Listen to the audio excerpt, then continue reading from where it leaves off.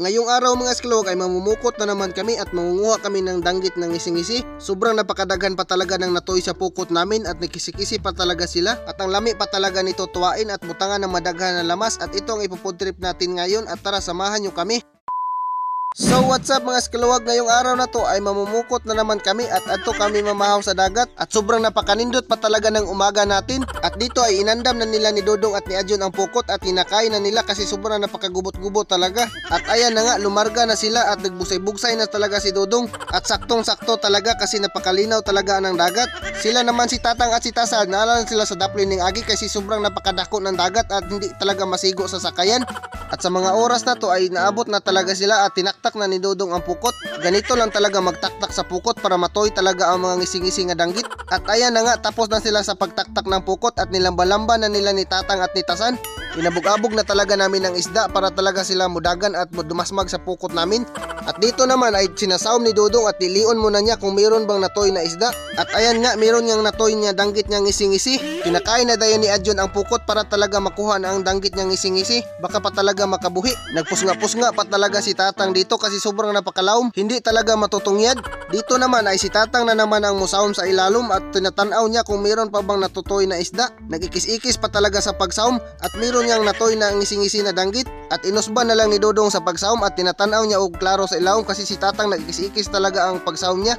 Meron niyang natutoy na mga ngisi-ngisi at sinuroy na ni Dodong at meron pa ngang duha kabuk na tutoy at nagbangga-bangga pa talaga sa pukot. Nagugpot-ugpot pa talaga sila gusto pa nila tumakas pero hindi yan makatakas kasi nalulukot yan sa pukot namin at meron pa ngang natutoy na lain na isa. Kinakain na dayon ni Adjon ang pukot baka makabuhi pa talaga. Kinukuha na dayon ni Adjon sa pukot para hindi talaga makabuhi at dagko-dagko na talaga na danggit ng ngisi-ngisi aming nakuha.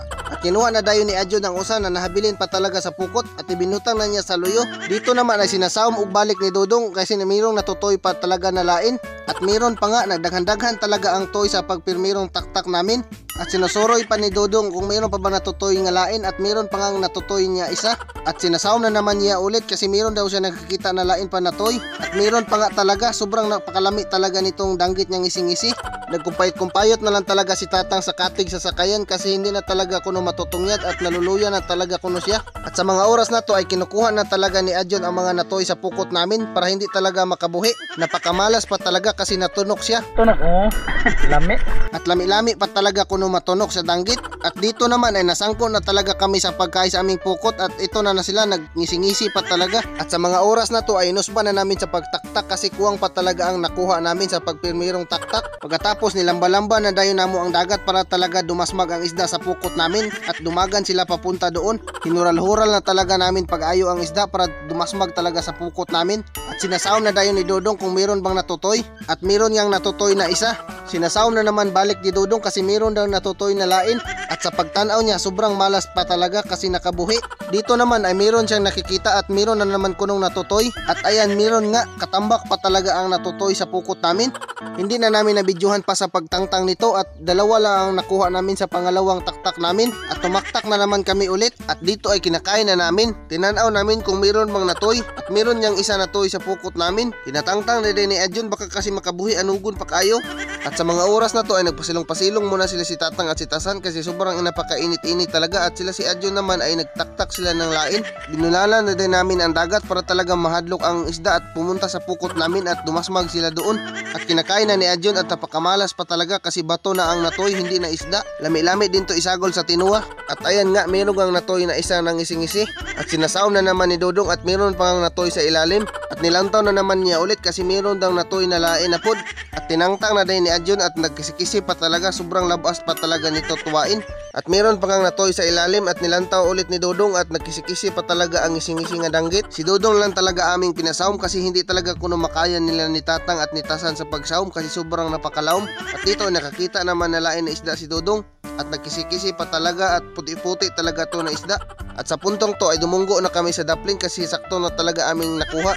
At ayan nga tanan ang aming nakuha. Sobrang lami pa talaga sa tinuwa nito. At ang labas-labas pa talaga. Tamis-tamis talaga ito ng sabaw. At sinusod na dayon ni Adjon sa sudlanan para malimpyuhan na dayon namin. At nilimpyuhan na dayon ni Adjon at ni Dodong. Hindi na namin pinadugay-dugay pa kasi sobrang napakagutom na talaga kuno. Magkisi-kisi na naman ang bahaw natin dito. At humana nga sa paglimpyo at dinadala na namin sa daplin para maluto na talaga to. At naghahaling na dayon si tatang ng kayo at pinunit-punit na dayon ni Dudong at sinusunod na dayon niya sa kaldero. At pagkatapos nayabaan na dayon niya Dudong at madaming sabaw para daghan talaga tayo na mahigop. Himabaw talaga ang sabaw sa kaldero at pwede talaga to ipanghilamos. At tinatakang na dayon ni Rugi-Rugi ang kaldero. At plinasta na namin og tarong kasi nagkindang-kindang talaga ang kaldero. At sinabayan pa tayo ng napakanindot-nindot na view. At hunas-hunas na talaga ang dagat. At tinabunan na dayon namin ang kaldero. Paabutin lang namin ng 30 hours para mabukal na talaga at dito ay hinaros na dayon ni Dodong ang mga ingredients at hiniwa-hiwa na dayon ni Tatang at ni Adjon ang mga lamasers natin at dinaghan na natin sa lamas natin ang ating tinuwa para lumami talaga. At sa mga oras na to ay ilulunod na ni Tatang ang mga lamasers natin kasi bumukal na ang tubig at iniyabo na niya largo para hindi na talaga magdugay-dugay pa. At sa gula na rin natin ng paa sa manok. At sa puntong to ay tinimplahan na dahil ni Adjon at biniyukan na niya na daghan na asin para maglami-lami yun talaga ang luto natin. Sobrang napakalami talaga nito, sabaw pa lang ulam na. Pagkatapos niya butangan ng madaghan na asin at binutangan na rin niya na madaghan na bitsin para talaga magbuwa yun talaga ang baba natin inigkaon. At kintaw-putaw na niya para talaga lumasa ang ganda ng sarap ng tinuwa natin na danggit. Pagkatapos ay tinilawan na dayon niya at hinigop-higop niya ang sabaw at sobrang init pa talaga na gininamoy niya largo at kuwang-kuwang pa talaga kuno sa parat gamay at binutangan na niya ng asin para talaga kuno lumasa ng dagat-dagat at pagkatapos ay isusunod na dayon ang ating kamunggay para talaga magmukhang utan sobrang lami talaga nito. Daghan og subak ang ating tinuwa at meron pa pakamunggay-kamunggay. At inukay-ukay na dayon ni Adjon ang kamunggay para talaga maluto og dali. At sa mga oras na to ay naluto na talaga ang tinuwa namin at tinahaon na dayon ni Adjon at inukban na dayon niya ang kaldero at inukay-ukay niya. At sobrang napakalami talaga ng danggit. At ipaplastar na na dayon ang ating hukaran. At pagkatapos iyabo na dayon ang ating bahaw nga mais nga kanon. At kinatagkatag na dayon namin ang mais at dinugsan-dugsang na dayon namin. At ito na huhukarin ng ating tinuwa na sobra pa talagang napakalami nito. At tamis-tamis yun talaga ang sabaw. Sobrang nagugutom na talaga ang mga kasama namin. Sobrang napakalami talaga nito higupon ang sabaw kapag hubog ka. At ibinutang-butang na ni Adjon ang mga isda sa kilid para ready to fight na talaga at ayan na nga mga ngaon na kami mga ngaon tayo kung sino pa diyang wala pa'y pangaon Kong dan isda. Mana? Oh, keluarga. Kau ni balik kau ni tu, kau ni tu. Suka tu kau? Kau semua? Ah, ni ano? Ano? tabul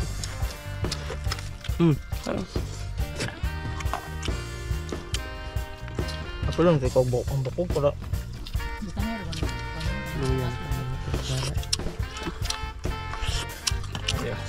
hindi pa tali. Dito mga iyan mo kailangan mong magsabaw ta, wa pud da. Naon na mo bang? Sa to tik anda mo. Gold mo pa kayo. tubo po Sino pa wapo? Hindi.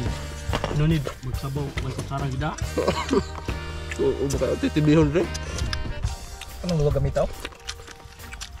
Ano ang gupit? Ulok ko ba kuhanin tama. hmm. baksit Balitaan lang to. may sabaw hmm. Luwag. Kablo ka po kadabaw ah. Luwag ba eh? Luwag ka na. Mm. Mong na. Agod. May kahoy yo. Tingop na ba? Ang bakit? Mm. Hindi ka pa na mag-type pa ta. Yeah. May kansi? Hindi ay. Agod. Di man okay to na ko. Di malugi to nun. Okay ra. Mm, darang ko sa usa ka mo.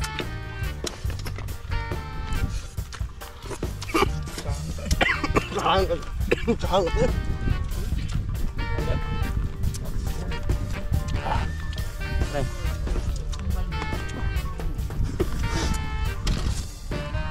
Bal ko na. Worth it ang paglangoy-langoy kayo daw ma. Wa wa mas English ana. Padailok dito. Wala sa? Na wala. Amukot to usap. Ito dahil ay balhibo deh.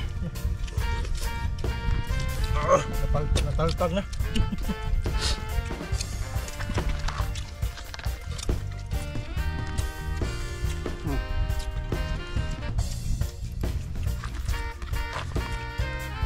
Napay pipino? sa sabaw ka pa no. Gusto mo ito. Sabaw danggit. Mm. Mm. Ah, parang sabaw. Tuwangan.